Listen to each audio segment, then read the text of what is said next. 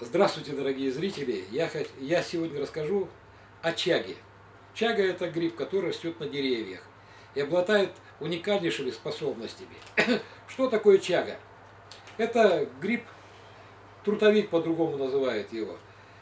То есть это, этот гриб паразитирует на деревьях, как бы уничтожая э, само дерево. Но, кроме того, что он обладает такими свойствами – он имеет и оборотную сторону, то есть он помогает восстановлению здоровья нам, людям.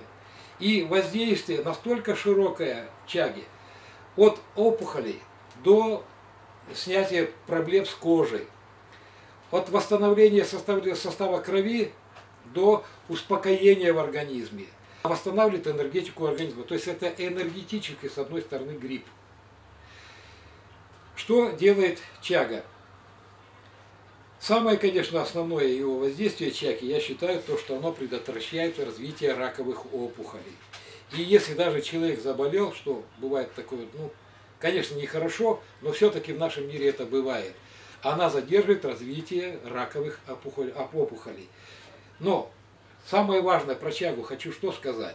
Чага, э, приготовление чаги, это самое, пожалуй, важное. Люди привыкли